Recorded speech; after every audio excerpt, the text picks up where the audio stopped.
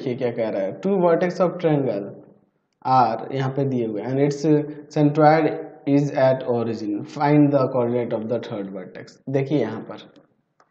हम लोग यहाँ पे ट्रायंगल ले लिए। इसको ए बी सी रिप्रेजेंट कर देते हैं। ठीक है?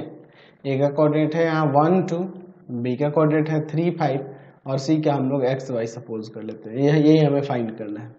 जबकि इसका सेंट्रॉयड जो है ना उसका कॉर्डिनेट कह रहा है कि ओरिजिन है, यानी ज़ीरो ज़ीरो है।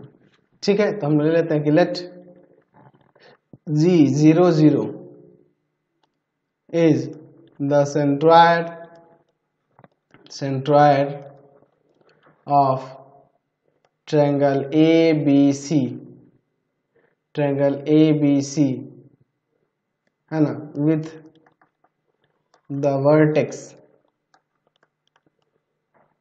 A 1 comma 2 B 3 comma 5 and C x y. ठीक है? तो क्या हो जाएगा यहाँ इसके लिए? आ जाएगा अगर हम सेंट्रॉइड के लिए फॉर्मूला देंगे तो तीनों के एक्स कोऑर्डिनेट को ऐड कर देंगे बाई में थ्री और वाई कोऑर्डिनेट को।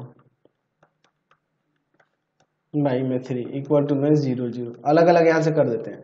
एक्स कोऑर्डिनेट एक्स कोऑर्डिनेट के इक्वल और वाई वाई के इक्वल ठीक है? चलिए।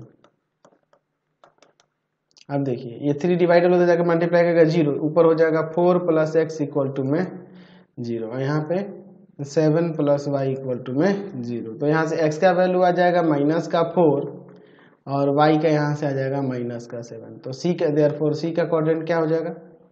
माइनस फोर माइनस सेवन ये ना इसका कोऑर्डिनेट आ जाएगा. समझ गए? क्वेश्चन नंबर थ्री देखिए।